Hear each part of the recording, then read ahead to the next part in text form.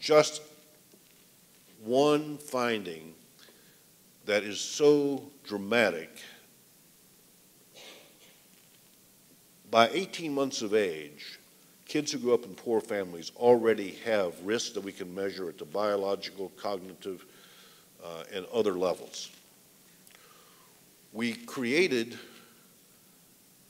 clones of the program we had in, in Chapel Hill, North Carolina, and we ran the same programs for the first three years of life with randomized uh, designs at uh, University of Arkansas, Albert Einstein College of Medicine, Harvard, uh, Miami, University of Pennsylvania, University of Texas, Washington, and Yale. And this little graph that you're seeing summarizes the results at age three for the children who were in the early education group versus the control group. And what you see is in eight of the eight sites, and overall, the differences favored the kids who uh, were in the early education group. This is a finding that was there at age three. It was actually there beginning at age two, but it was not there at age one. At age one, the groups were comparable. So,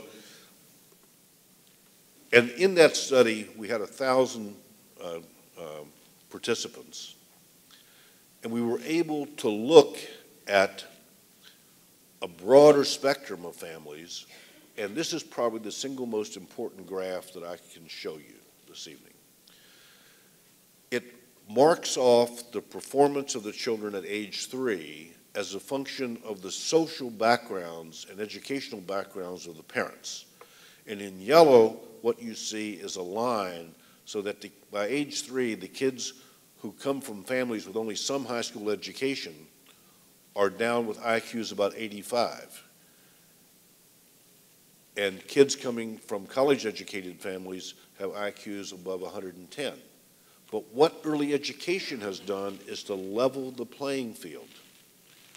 And it's leveled the playing field by having a disproportional positive influence on the kids who come from the most challenging families.